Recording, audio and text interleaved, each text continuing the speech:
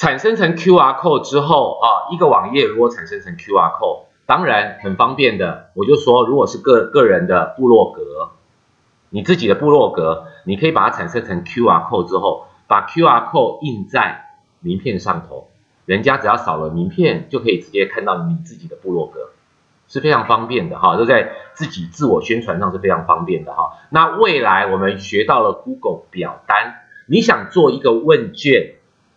给在场很多你第一次接触的人啊，接第一次接触的人要做问卷的话，其实产生成 QR code，他们手机就很容易去扫了。OK，好，那现在也有短网址，我说短网址比较适合用在如果他没有带手机可以扫 QR code，那起码可以在浏览器上头直接打。可是呢？刚才我虽然已经跟各位讲诀窍了，G O O 点 G L 是固定的，G O O 点 G L 是固定的，那你只要后面的斜线后面的六个英文字母或数字，大小写要照它的，它如果是小写就要小写，大写就要大写，都要照它的。可是如果你觉得这还是不好用，那再教各位一个。短网址怎么样？短网址可以变成自己比较容易熟记的。来看哦，我这边产生一个，我先开一个新的页签，开一个新的页签，请各位在这个网址里面打一个很奇怪的网址，叫做 gg 点 gg，它的名称就叫这样，网址就叫 gg 点 gg。啊，点进去之后呢，它是专门做短网址用的。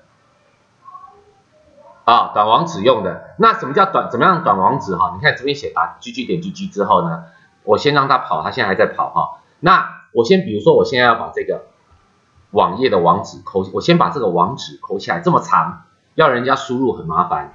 我把这个网址复制下来，按右键复制，或者按 Ctrl C 可以复制。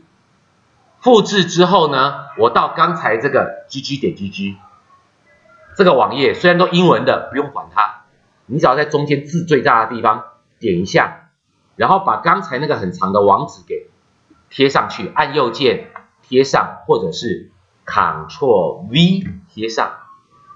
贴上之后呢，我们别急着按，这边有一个叫做 Customize Link，是说我想要自己制定网址，我就把它打勾。好，你看哦，那网址就是 gg 点 gg 斜线。那我要取什么名字？我要取什么名？比如说，我就写 Japan，因为是刚才日本北海道嘛，它其实要叫哈开哈开岛，可是很多人可能不容易去拼那个，我就 Japan，然后二零一七好了，然后 short URL，好，他现在把它传到云端上去，好，你只要以后别人。前面就很简单，gg 点 gg，后面斜线，后面刚才你取的 Japan 二零一七，请问好不好记？好，所以呢，假设我开一个新网页，我就开始来哦，gg 点 gg 斜线 Japan 二零一七，Enter，是不是同样的网页了？了解吗？好，所以我说哈，如果你觉得刚才这个右上角这个。链子这部分的产生 QR code 啊，现在这个没有哈，产生这个 QR code 很好用，可是短网址你觉得这个后面六码的英文跟数字大小写又要一样，然后又又小又看不太清楚，你觉得这不好用的话，没关系，你只要把你想传达的那个网页的网址反白，然后 Ctrl C 是复制起来，然后。贴到那个网址是 gg 点 gg 的啊，点了之后呢，你就把它贴到这个字最大的这个格子里面，按 Ctrl V 贴上。贴上之后呢，它右右下呃左下角有一个小小的字叫 Customize Link，它的意思就是我们要个人化的 link，也就是我希望我的名字要自己取，不要你给我乱。产生那种很奇奇怪怪的英文，那我就可以把它打勾勾，然后后面的名字你就可以自己取了。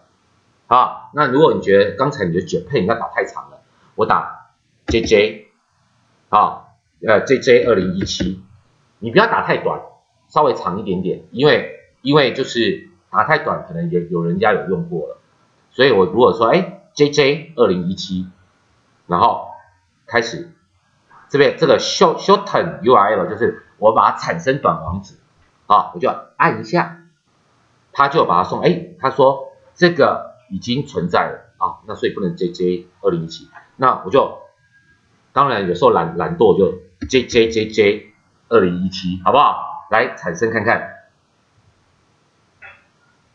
哎，它开始送到那个，等于说送到网络上去了。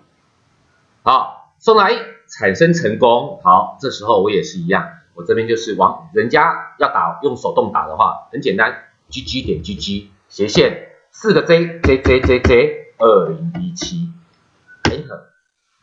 哎，一样又是同样的网址，可以吗？好，来各位来试做一下。